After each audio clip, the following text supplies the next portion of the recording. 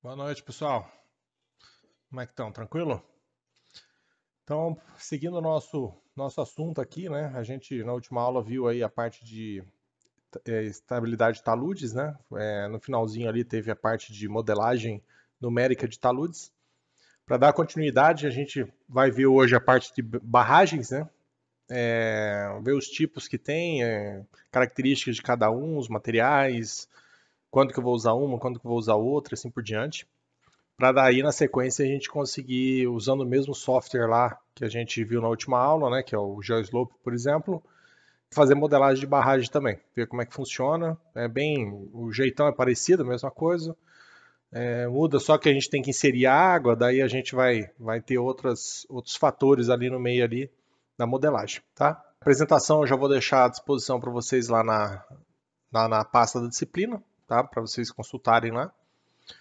E é, barragem a gente não precisa ficar explicando muito assim a função dela, né? Todo mundo já sabe. É, basicamente a gente utiliza a barragem para elevar o, o nível d'água ali na região, né? Fazer essa reserva, seja para utilização ali da cidade, né? Captação de água, tratamento e, e, e utilização.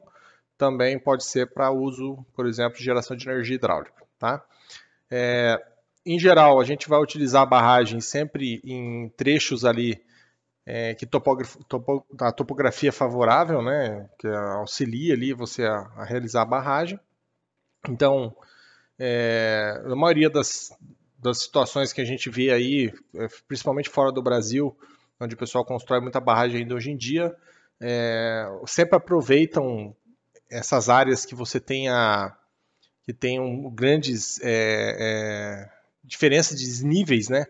É, em costas de montanha, alguma coisa assim, para já pra fazer a, a, barragem.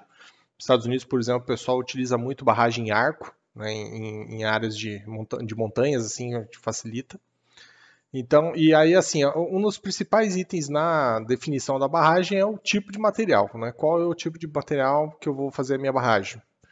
Concreto, solo e assim por diante. Então, é claro que a gente, né, de antemão, a gente já, já dá para tirar como conclusão que o tipo da barragem é em cima do material que você tem com maior facilidade na região. Né? Não tem muito segredo quanto a isso. Então, é claro que também a gente pode usar sistemas mistos, por exemplo, concreto, solo e assim por diante. Então, vai depender muito do que você tem disponível na região. Então, aqui na nossa região, por exemplo, a gente tem um solo que é um solo bem interessante para fazer barragens. Né? Então, é, a própria Itaipu é uma barragem com núcleo em argila, porque é um material barato né, do próprio local. E a gente tem os revestimentos ali nas duas laterais em concreto. Quando você vai para fora do país, por exemplo, os solos normalmente não são argilosos como o nosso. Então aí você começa a ter é, barragens mais em concreto ou enrocamento com pedra e assim por diante. Tá? Então vamos ver aí os tipos que tem e discutir um pouquinho sobre eles. Então, quando você fala em barragens, né, a gente tem basicamente três tipos principais, que são as barragens de solo, né, chamam vulgarmente de barragem de terra, as barragens de enrocamento, que são aquelas barragens de pedras, e barragens de concreto, que podem ser subdivididas, né, concreto convencional, armado ou compactado a rolo. Aí também tem as barragens especiais, que a gente vai ver no finalzinho da aula, são aquelas barragens com, por exemplo, borracha, gabião, reaproveitamento de materiais aí, né, e são barragens de pequeno porte, é claro, tá? Então vamos começar vendo um pouquinho sobre cada uma delas, alguns exemplos com fotos aí de barragens que foram executadas de cada tipo e os aspectos principais que, que uma barragem deve ter aí que você tem que se atentar quando for realizar um, um projeto ou alguma coisa assim, tá? Então, a escolha da, de uma barragem, né, do material que eu vou trabalhar nessa minha barragem, vai depender desses fatores. Né? Então, disponibilidade de material, então argila, né, principalmente, que é um material barato, então é bom ter uma área de empréstimo próximo.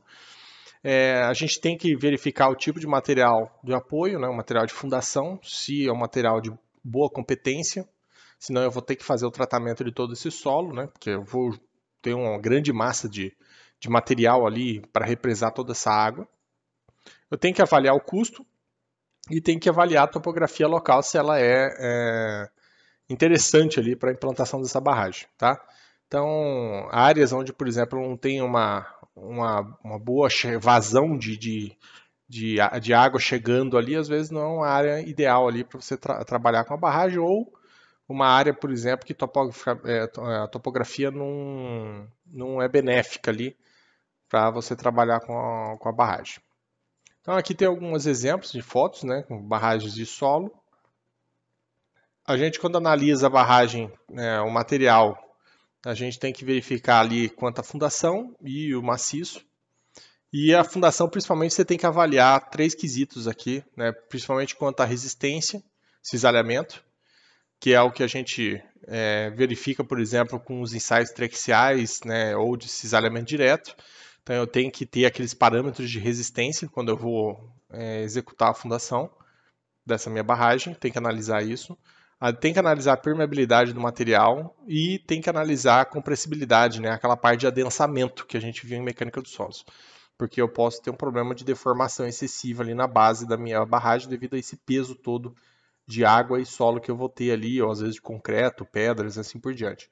Então essa é uma análise que deve ser realizada, né? Então, um software igual, por exemplo, o GeoSlope ou outros softwares semelhantes, quando você faz a modelagem, ele consegue já mostrar para mim quais são as pressões ali que estão atuando no, na base da minha, da minha barragem e fazer a avaliação lá para você né, ter noção de qual é a tensão que está chegando e assim analisar ali em cima do, do SPT e assim por diante, se vai precisar só uma compactação resolve, se eu vou ter que fazer um reforço de solo e assim por diante. Tá? Então, interessante, né? em geral, o maciço é ser um solo argiloso, é, homogêneo, e normalmente essas barragens sempre vão ter, barragem de solo, né? o núcleo obrigatoriamente é argila. Tá? Então, por que, que a argila é tão interessante para execução de barragens? Porque, primeiro, é um material natural e, ao contrário da areia, é um material que apresenta baixa permeabilidade. A gente sempre quer, na execução de uma barragem, é, tentar fazer com que o material meu ali da barragem tenha a menor permeabilidade possível. Né? Então, aí concreto, por exemplo, é ótimo nesse aspecto. É, a gente usa barragens, por exemplo, de pedra em situações onde não, não são é, tão importantes assim, às vezes, é, você só quer segurar a pressão de água ali, alguma coisa assim, mas você não tem problema quanto essa água percolar ali por dentro do, da minha barragem. Agora, existem algumas barragens, por exemplo, que você precisa que essa água não, né, não penetre ali no núcleo. Então, às vezes, por exemplo, a gente sempre vai ter um núcleo em solo, né, é, é, compactado, e é, você pode ter revestimentos em concreto para reduzir mais ainda essa, essa percolação de material, de água ali que está entrando na minha barragem, tá? Mas o, a argila acaba sendo bem barato né, para trabalhar e para fazer o tratamento, compactação dela. Então é bem interessante ser utilizado. Normalmente as barragens elas vão ter sempre esse, esse jeitão, né? Então a gente tem alguns nomes já específicos para barragens, né? Então a parte superior ali é chamada de crista. Tá? A gente tem larguras mínimas, né? Porque a gente vai trabalhar com, com, com essas cristas. A folga é o nome que se dá aqui a esse trecho que você não vai ter água, né? Que é uma margem de segurança que eu tenho. O núcleo da, da minha barragem sempre né, vai ser feito em solo, compactado.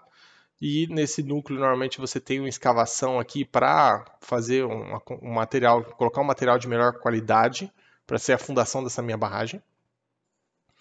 Normalmente a gente também na parte a jusante da barragem, eu tenho ali um chamado dreno de pé que é colocado na maioria das vezes. Esse dreno aqui é justamente para evitar aqueles problemas de liquefação, né, de areia movediça, alguma coisa assim que pode estar acontecendo, uma instabilidade hidráulica que a gente fala. Por quê? Porque eu vou ter fluxo de água vindo a montante por baixo da, da, da barragem, e essa água ela vai infiltrar de qualquer jeito. Só que eu não quero que ela infiltre por dentro do núcleo da minha barragem, que eu posso ter um problema de instabilidade. Então ela acaba infiltrando pela fundação e sai na jusante, né? E, e, quando ela sai aqui a jusante, a gente tem um fluxo ascendente. Eu tenho uma estabilidade hidráulica aqui, que a melhor maneira de combater é drenando esse material o mais rápido possível para sair dali da, da, da jusante. Tá? Então, são alguns detalhes que a gente tem né, de barragem, não tem muito muito segredo ali, questão de projeto, assim, né? Claro que parte de dimensionamento e análise já é um pouquinho mais complicado. Normalmente a gente faz em software, né? Aqui tem um exemplo de barragem em solo, né? então você pode fazer plantio de grama, alguma coisa assim para deixar um acabamento melhor. com os vertedouros aqui em concreto naquela área para fazer a liberação da, do excesso de água e assim por diante, controle de vazão. Tá?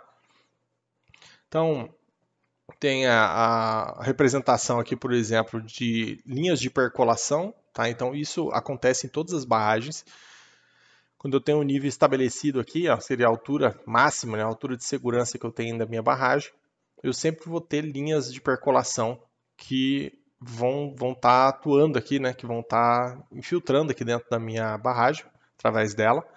E isso aqui eu tenho algumas é, bibliografias de mecânica dos solos que explicam certinho como fazer o traçado, geralmente é a mão livre mesmo, é, não tem muito segredo. E a partir dessas linhas de, de, de fluxo aqui, eu consigo analisar e verificar quais são as pressões neutras que estão atuando no interior da minha barragem. Tá? A gente vai ver isso nas próximas aulas agora, que é a parte de fluxo é, de água através de barragens é, bidirecional que a gente fala. Né? Então, em mecânica dos solos, lá quando a gente fez, no finalzinho da matéria a gente viu permeabilidade. Aquela parte de permeabilidade que a gente viu, a gente chama de é, percolação unidirecional. Então, é em uma direção só, a gente está analisando ali casos simplificados. Quando você começa a avançar um pouco mais do conteúdo, em mecânica de solos não dá tempo de ver isso, a gente tem um fluxo de bidirecional que a gente fala, que daí é quando você trabalha com barragens, onde eu tenho o fluxo né, indo a, é, numa direção né, X e na direção Y também, em conjunto. Então eu tenho uma situação um pouco mais complexa para análise, mas também nada de, de, extremamente difícil, a gente vai ver nas próximas aulas. Aí, tá? Então, Aqui tem alguns itens aqui, né, que normalmente se executam em barragens, né, itens de segurança, algumas táticas aí de projeto. Então aqui, por exemplo, como você não tem um núcleo de argila para segurar né, aquela percolação, você também pode optar, por exemplo, em fazer um filtro né, executado né, durante a execução da barragem. Você já vai colocando esse filtro e, prevendo ele. Esse filtro pode ser feito com né, brita envelopada com geotexto, alguma coisa assim de fora a fora, tá? E esse material vai servir como dreno quando essas linhas de fluxo vierem aqui e começarem né, a querer passar para a jusante da minha barragem. Eu tenho toda uma linha de drenagem aqui para coletar essa água e mandar ela embora jusante ali de uma maneira é, segura, tá? Então essa é uma seção típica de barragem. Aqui eu tenho dois materiais aqui também, a execução da minha barragem, tá? Um revestimento aqui na parte interna aqui, que é uma parte que geralmente tem erosão, então você não quer deixar em solo, né? A gente sempre acaba fazendo uma proteção.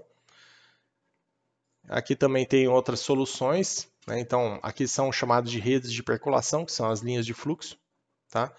Uma proteção a montante, que é feita normalmente para evitar erosão.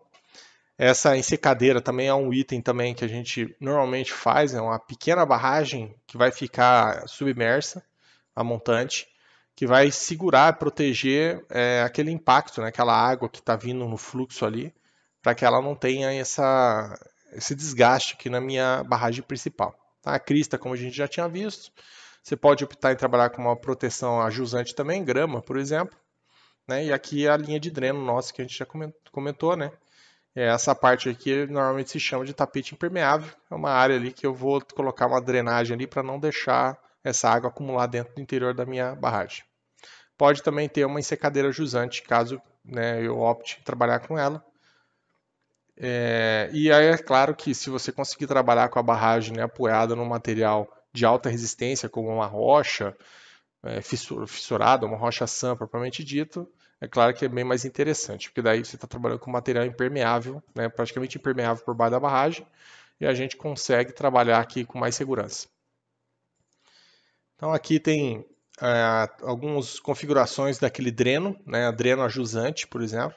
Então normalmente se, se faz duas ou três camadas ali com areias e britas, tá, cascalho que seja, para é, reforçar, né, porque você tem que pensar o seguinte, na barragem quando eu estou é, com ela trabalhando é, em, com toda a capacidade dela, né, cheia de água, assim por diante, normalmente toda aquela água vai fazer uma pressão muito grande sobre a barragem. Então, a tendência é que os maiores esforços de compressão estejam atuando a jusante dela no pé, ali embaixo, na parte inferior. Então, essa parte, normalmente, você faz um reforço na fundação ali, né? Então, substituindo, às vezes, o material ali de fundação que é o solo ali que está ali presente, por pedras é, compactadas e assim por diante, com camadas é, de areia, assim por diante, para já ajudar também na, na drenagem. Tá? Então, é uma tática que é feita muito em projeto para reforçar ali a fundação e evitar é, sobrecarga sobre o maciço de solo ali naquele local. Então, aqui tem algumas fotos também de exemplo, né, de áreas, é, barragens ali com proteções, né, a montante, jusante que seja. Aqui algumas características para projeto, né, a gente vai estar tá fazendo uma outra modelagem no software, então interessante para vocês já terem aí. Aquela crista, né, a parte superior ali, largura mínima normalmente 3 metros para pequenas barragens. Em geral, utiliza 6 a 12 metros de largura, tá? Então, 3 metros seria um carro ali, é, uma largura de um carro, né? e para barragens maiores, 6 a 12 metros, onde você vai ter uma pista aí de volta e mais áreas de segurança nas laterais ali para fluxo de pedestre e manutenção. A gente também tem normalmente uma drenagem ali a montante para escoamento dessa água de chuva, que pode estar tá caindo ali em cima dessa crista. E o controle de recalque normalmente nessa área de crista aí, né, em geral, o máximo tolerável de 0,2 a 0,4% da altura da minha barragem, tá? Isso aqui para questão de controle. A drenagem interna normalmente se utiliza o filtro chaminé, é chamado, né? Que vai interceptar qualquer água que vai estar tá vindo ali da montante da minha barragem para evitar a saturação daquelas né, abas ali que eu tenho a jusante da minha barragem, como a gente já tinha visto nas imagens lá atrás. Tá, então, é, um, um, dos principais itens, como a gente já falou, é a percolação. Né? Eu tenho que evitar que essa água é, passe sem controle sobre a minha barragem. Então, normalmente, a gente sempre instrumenta as barragens, e, é, e barragens tanto de mineração, que vocês já devem ter visto bastante, mas as barragens de água normal, hidrelétrica, assim por diante, a gente sempre vai ter controle rígido quanto à inclinação, quanto a deformações, né, deslocamentos, recalques que ela pode estar sofrendo. Então essas instrumentações elas são fixas na barragem e já são previstas desde a etapa de projeto. E aí a gente também tem pesômetros que são instalados, que são controladores ali, equipamentos que vão controlar o nível de água ali, como é que está a percolação é, dessa, dessa água por dentro dessa minha barragem. Então ela serve como um alerta, né? Porque se o nível de água ali começar a aumentar dentro da minha barragem, a gente sabe que né, pode estar saindo fora do controle ali e a minha barragem pode ficar insegura, tá? Então, né, a gente tem até os itens aqui, né, acidentes geralmente ocorrem quando você tem infiltrações concentradas ali no interior da minha barragem, e análise de percolação geralmente consiste né, em vazões, ali, avaliações de vazões e as pressões internas da minha barragem. Então, em todas as barragens eu quero né, fazer o controle das fissuras, né, se, se ocorrer alguma, é claro, que isso é indício de problema, e os recalques diferenciais que essa minha barragem pode ter né, a partir de instrumentação. A, a gente também tem, para critério já de projeto, né, já serve para vocês já, o bordo livre, que é aquela altura ali que eu tenho de segurança né, entre o, né, o nível máximo de água e o topo da minha barragem. É, em geral, se adota 3% da altura máxima da minha barragem. Então, se minha, minha barragem tem é, 30 metros, por exemplo, eu vou ter 90 centímetros ali, aproximadamente um metro de, de borda livre ali, segurança. O mínimo recomendável pelos materiais técnicos aí é sempre um metro de altura, tá? Então, dependendo da situação, você vai adotar um metro, senão um, um valor um pouco maior do que isso, dependendo do que você está tá trabalhando ali com altura de barragem. Aqui tem algumas imagens aqui de, né, do solo sendo compactado para execução de uma barragem. Como a gente, vocês já sabem já, né, a gente sempre para solo argiloso, solo siltoso, a gente usa um rolo pé de carneiro.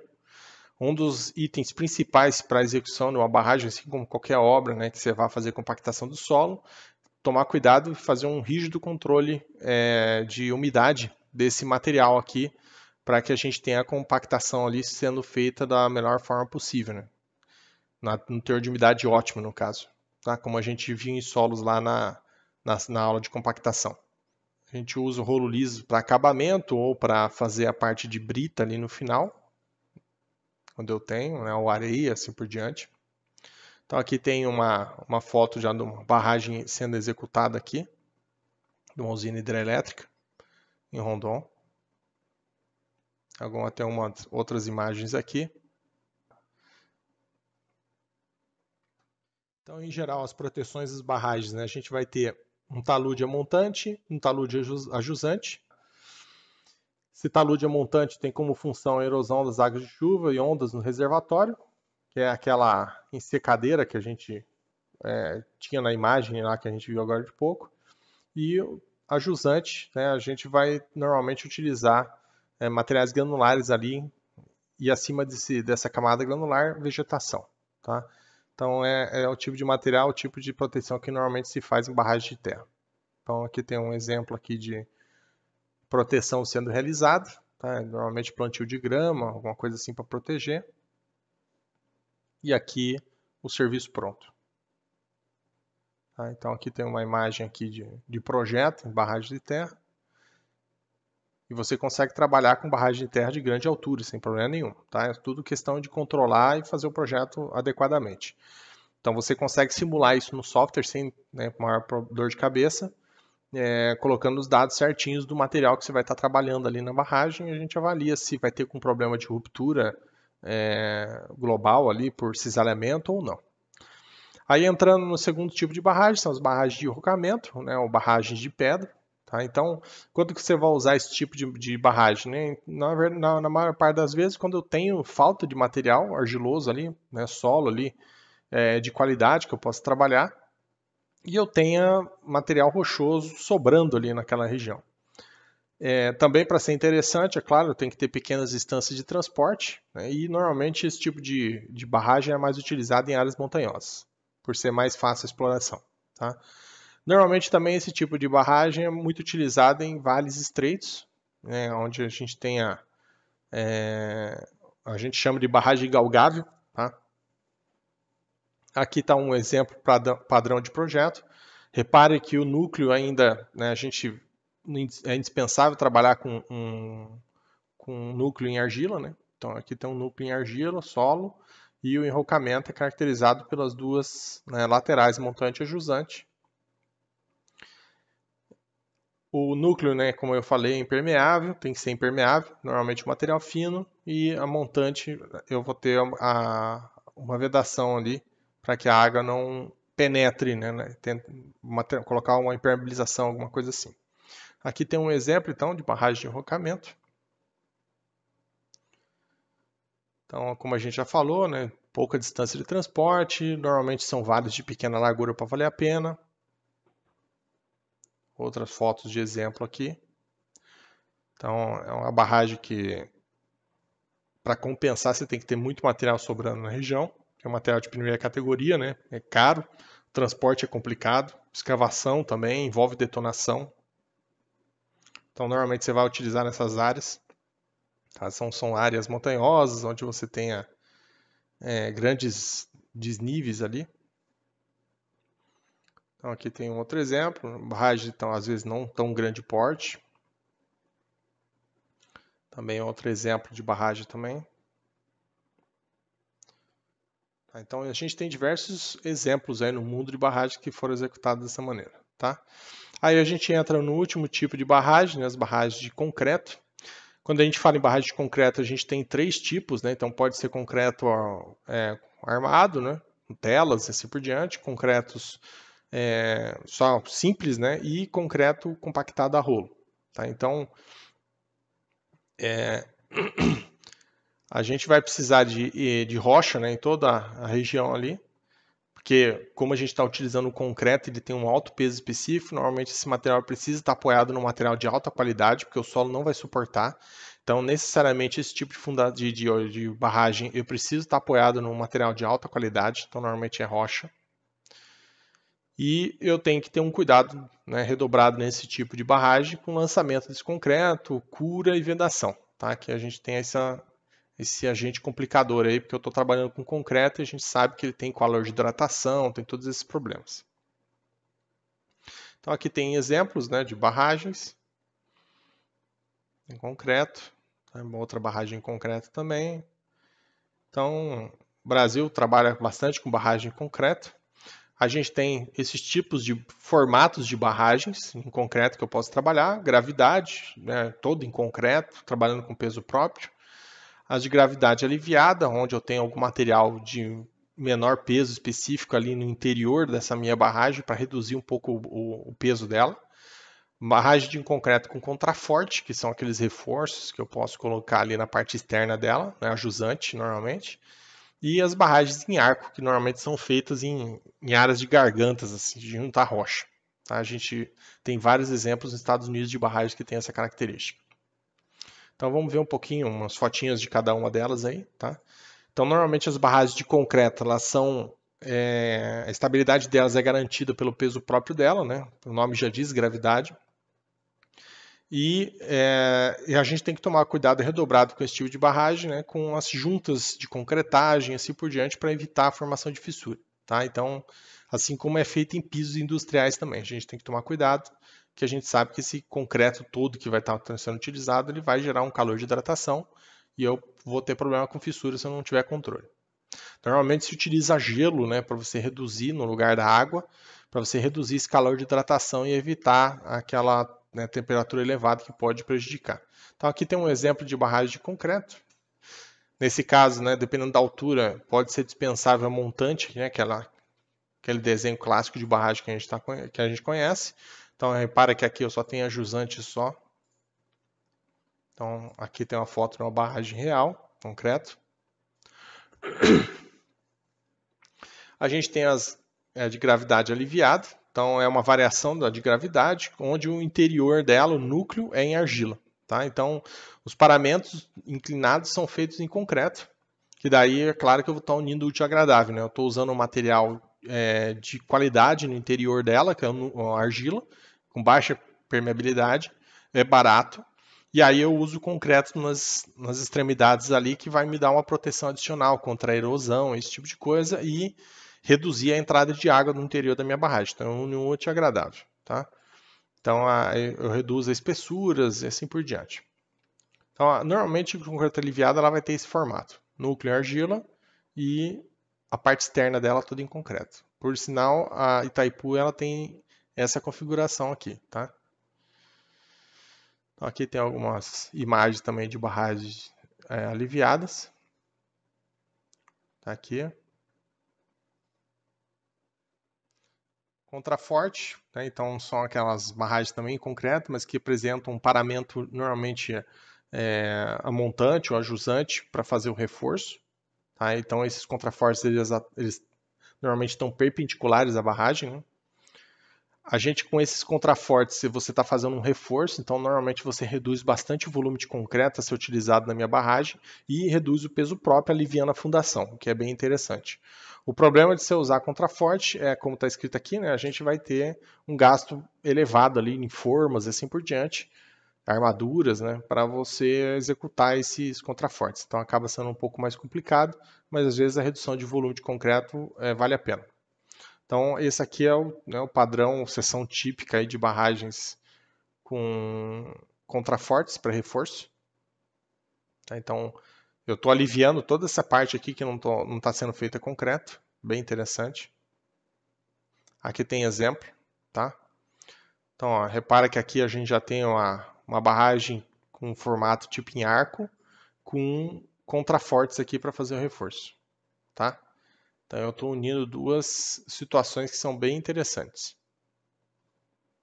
Aqui tem outro exemplo. Então já são barragens também de grande altura, né? Onde vai valer a pena você ter essa redução de concreto. E as barragens em arco, a gente, né, como já tinha falado, elas são curvas né, em planta, de maneira que a gente trabalhe transferindo toda essa pressão que está vindo ali naquela parte mais alta do arco é, para as bases dele, né? E normalmente você vai ancorar esses arcos aqui em rocha, nas laterais, tá? Com isso a gente consegue reduzir drasticamente o volume de concreto. Ao invés de você fazer um, toda uma área sólida ali, maciça, eu só estou trabalhando com arco e reduzo muito a seção. Né? Então aqui é uma, foto de uma barragem típica em forma de arco.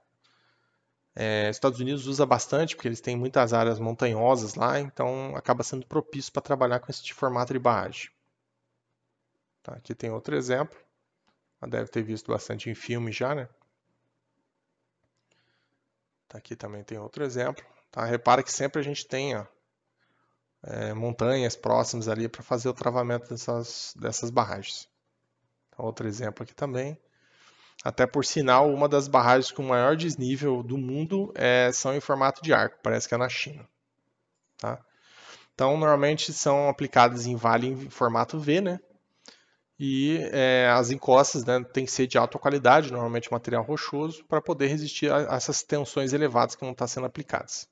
Cuidados especiais devem ser né, feitos, tidos ali com a, com a fundação. É, eu posso ter um arco constante ou variável, então com raios né, alterando, então sem problema, só questão de projeto. E o paramento de montante geralmente é vertical. Aí a gente tem o último tipo de, de barragem de concreto, que são aquelas compactadas a rolo. Tá? É, é uma barragem de concreto simples, porém eu estou é, lançando mão ali da utilização de rolos lisos para fazer o adensamento desse concreto. Quando eu faço isso, eu consigo aumentar ainda mais a resistência daquele meu concreto. Né? Eu estou reduzindo ainda mais os vazios e estou adensando muito melhor aquele meu concreto. Então eu faço com que meu concreto tenha um desempenho é, muito mais satisfatório ali no final. Tá? Então, a maioria das, das barragens sólidas de concreto que a gente tem, as grandes barragens, normalmente são feitas com concreto com rolo. Tá? E daí a gente consegue ter uma, uma otimização ali daquele, daquele concreto que está sendo é, utilizado. Então, algumas imagens aqui. A gente tem daí algumas barragens especiais, né? Que a gente já tinha colocado lá, saindo das barragens de concreto. Posso ter barragens de alvenaria, por exemplo. Tá? Barragens com utilização de borracha. Então, às vezes resíduos de borracha que você faz e, e executa. Tem uma seção dessa borracha para vocês entenderem como é que ela funciona. Tá? Aqui, ó. Então, a, a, a barragem de borracha, geralmente você tem um, uma área aqui de borracha que ela vai criar um obstáculo para aquela água que está vindo e você acaba aumentando, né, criando uma, uma lâmina d'água aqui e essa, essa, essa água vai passar por cima quando chegar no, na altura ali desejável. Então você acaba controlando as vazões e assim por diante daquela minha, da minha região ali. E também reduzindo velocidade, principalmente, né, para evitar alguma erosão lá na frente, assim por diante. Então, é, às vezes a barragem, a única função dela é, não é nem geração de energia elétrica ou às vezes nem consumo, e sim só uma redução de vazão, é um obstáculo que você está criando ali artificialmente para evitar que, que, ocorra uma erosão, algum problema lá na frente em épocas de cheia, assim por diante, tá? Então, bem interessante também a solução e utilizando um material aí que né, poderia estar sendo descartado da natureza. Aqui a gente tem um outro né, tipo de barragem especial, uma barragem de gabião. A gente já comentou um pouquinho sobre gabião na aula de, nas aulas lá de muros de arrimo. Tá? Então é um material que eu posso utilizar para fazer barragens. É claro que por ser um material permeável, né, então eu, se eu for fazer uma barragem de maior porte, assim por diante, eu vou acabar tendo que lançar mão de um núcleo de argila.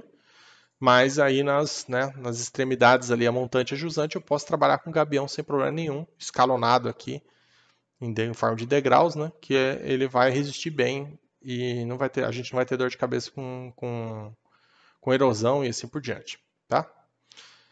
Basicamente a, a introdução sobre barragens é isso, né? Agora a gente só vai ver a parte de fluxo em barragens na próxima aula e modelagem. Provavelmente eu já vou lançar uma, uma próxima videoaula aí de modelagem de barragens, só para você entender como é que funciona no, no GeoSlope, no software lá. E na sequência, semana que vem, eu já devo lançar mais uma aula sobre fluxo de água, né, permeabilidade, é, fluxo bidirecional em barragens, para a gente ver como é que funcionam os cálculos e as análises envolvidas. Uma ótima noite aí, bom descanso, uma ótima semana a todos. Até mais.